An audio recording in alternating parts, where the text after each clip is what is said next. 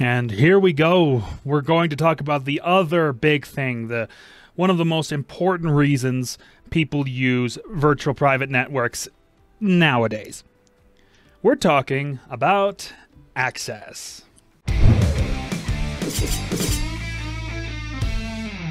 VPNs were initially designed as a security thing um, to anonymize your uh, internet use for is one reason, of course, but they were also developed uh, as sort of uh, company tools used to you know keep company files safe, and they're still used a lot that way. You can log into company virtual private networks that host things you can only find there, as opposed to the, on the internet at large. But nowadays, VPNs are generally used to offer access all over the world to all sorts of different countries. And this is just an example map of where you might get, you know, service for a whole bunch of different things. where you, so you could access Netflix for Africa and Netflix for Asia, various different countries in Asia. Netflix for Australia if you really want all the if you really want documentaries about spiders, I guess so on and so forth. So let's talk about server terminology because access is all about servers. The number of servers, that's how many a VPN has in its network overall. Locations, that's where servers are located, period. That's not the same as countries they have service in. There can be multiple loca- uh, server locations in a single country. That is typically the case for uh, the US the number of servers in each in specific countries sometimes, the number of locations in specific countries. That's right, a single location can have a whole bunch of servers. There are specialty servers for virtual private networks. Uh, there are things like peer-to-peer uh, servers where some VPNs will specifically allow torrenting on specific servers, but not on all. Then again, some like ExpressVPN will allow you to torrent on every server. Then some have dedicated streaming servers that are designated for uh, streaming from specific platforms, you know, Netflix, BBC, and so on. Then there are obfuscated servers. Now, there are certain countries that outright ban the use of VPNs, maybe because they have a giant firewall, like, say, China, and they really don't like it when people use VPNs. Well, that's what these servers are for. Then there's Onion over VPN. Oh, let's not. Okay. How do I put this?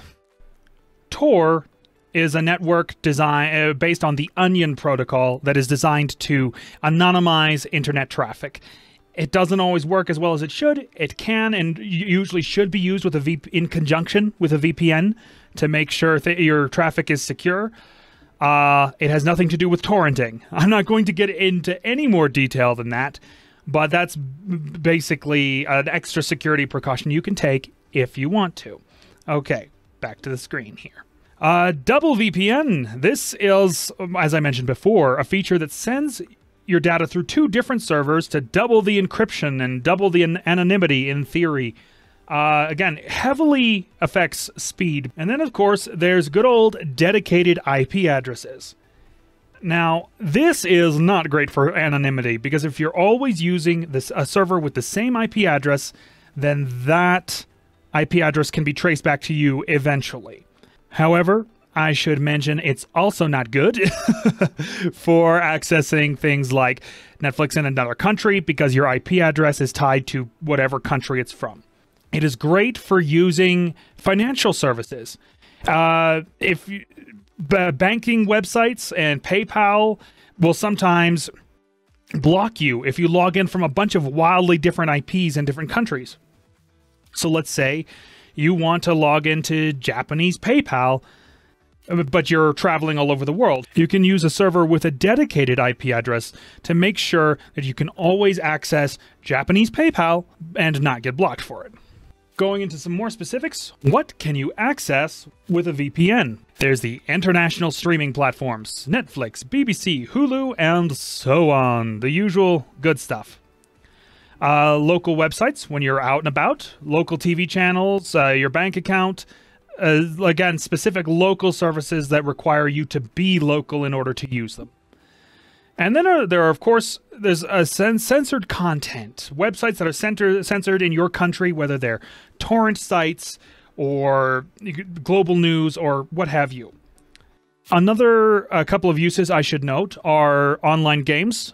Certain online games are restricted to, say, Korea or you know, South Korea and some places like that. A lot of gamers, partic- particularly big MMO gaming channels, use VPNs, spe- uh, specialized gaming VPNs at that, to access games from other countries. It, you know, if you're really into that. And again, company networks, which is one of the original uses of the virtual private network. Now, we need to talk about how a VPN gives you access to blocked content. We need to go into some of the specifics here. It does this by changing your IP address.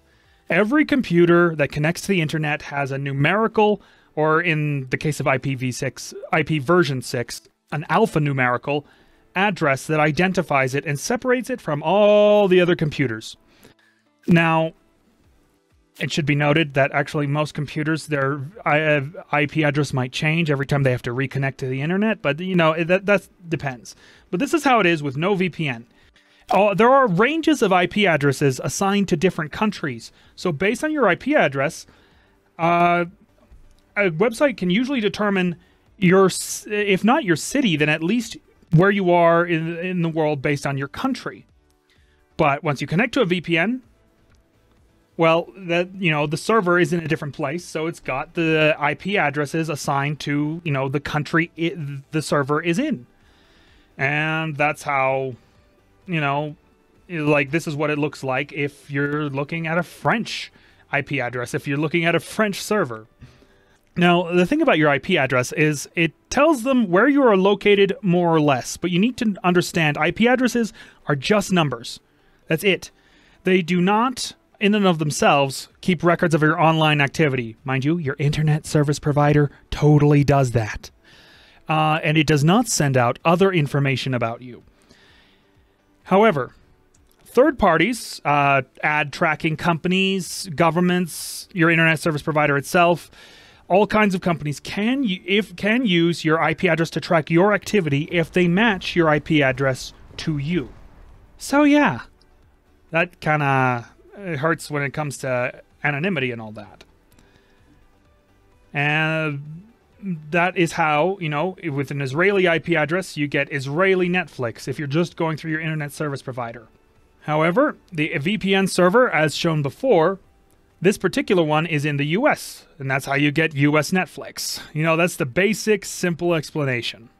However, changing your IP address won't always do the trick, not on its own. Um, Netflix, in particular, has been taking steps to try and block people who are using VPNs from accessing their service. And they do this usually by tracking IP addresses and seeing, you know, which IP addresses are used by uh, virtual private networks and their servers. But various VPN services, you take measures to bypass VPN blocking. Note, this is not the same thing as bypassing geo blocking, which is where uh, traffic is blocked based on what country it's coming from. We're specifically talking about getting around anti VPN software.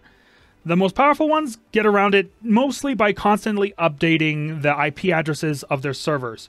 And there are certain other bypassing technologies that, quite frankly, I don't understand how they work either. It's it's not gonna. Uh, but accessing Netflix and so on isn't the only reason to change your IP address via a VPN. And nor, nor is uh, so. Let's look at some of the other uh, things you can do with that. There's shopping. You can get better prices on some e-commerce sites by shopping from a different country. Uh, there's work, of course. If you're researching, say, some American companies and you need to see what their websites look like in uh, in other countries or what their pricing is in other countries, you can use a VPN to see that information more easily. Because a lot of websites, especially the the multinational ones these days, they will only they will insist on showing you your country's version of the website and they won't let you easily visit other ver- you know countries versions and I don't know why. It's really frustrating. let it go, let it go. Sorry, NVIDIA made me really mad that one time. okay.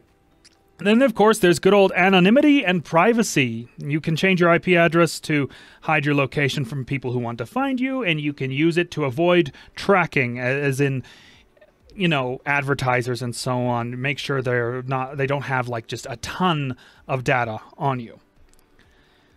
So, that is it for access. I hope that gives you a general idea of all the various things people want to do with VPNs, what they want to access with VPNs. Next, we'll be getting into security and logistics and all that other good stuff. So, you know, again, stay tuned.